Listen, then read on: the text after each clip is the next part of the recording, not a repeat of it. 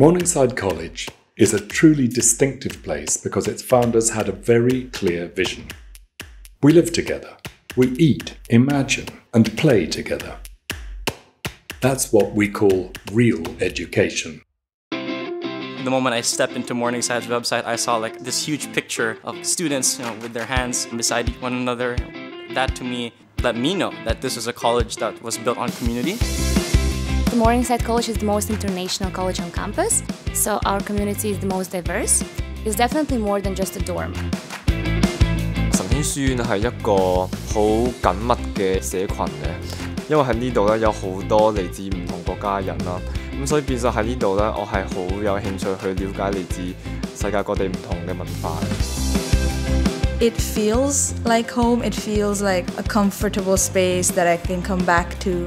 You smell people cooking different dishes, and that also draws people together. It's a great place to socialize and also make new friends.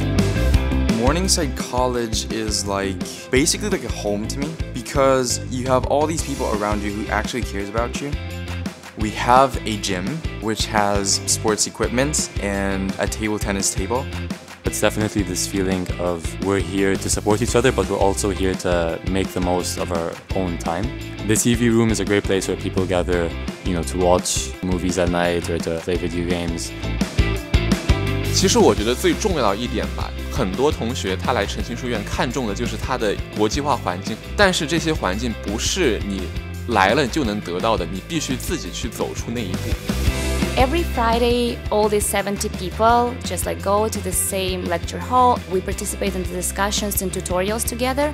Only freshmen take that course, so even if I didn't meet them within the college or during the orientation camps, it gives an opportunity for us to interact.